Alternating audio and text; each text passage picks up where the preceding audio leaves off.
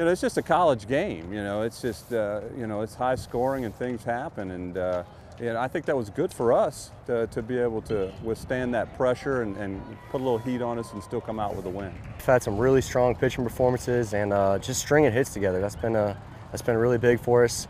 But uh, very, very excited and uh, would like to come out here tomorrow and get a third one would be huge. I felt good in the bullpen and I felt good going on the mound. Uh, I had two walks, so, you know, that didn't kind of go my way, but my team had my back.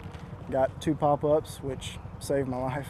And then I had a strikeout and we got the save and the win. He was resilient right there. Uh, you know, he had a, he was throwing the ball good. He just he was missing spots a little bit and a couple walks there, but he, he you know he made the pitches and, and, and got us out of the jam, and that was that was a great job.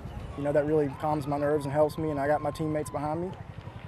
You know, they come and look at me and talk to me, and you know, everybody's got my back, and the pressure just kind of goes away once I turn around and see my teammates behind me. It's great. Uh, that's gonna be that's gonna be a big thing for us. Like I said, it's, it seems like we were feeding off of each other, and you know when, when we start stringing them together like that, that's when it seemed like we really got some production and a lot of runs, and I think that's going to be key for us. Yeah, I thought we did a, a, a really good job hitting. I mean, we put up uh, uh, a couple of crooked numbers. We got six in one inning and two, and uh, uh you know, if we make a couple pitches, uh, you know, we, we might cruise all the way through. But you know, they, they came back on us and did a good job of uh, making a game out of it. It's a long season, and you know, there's there's a lot of things that are going to happen from here on out.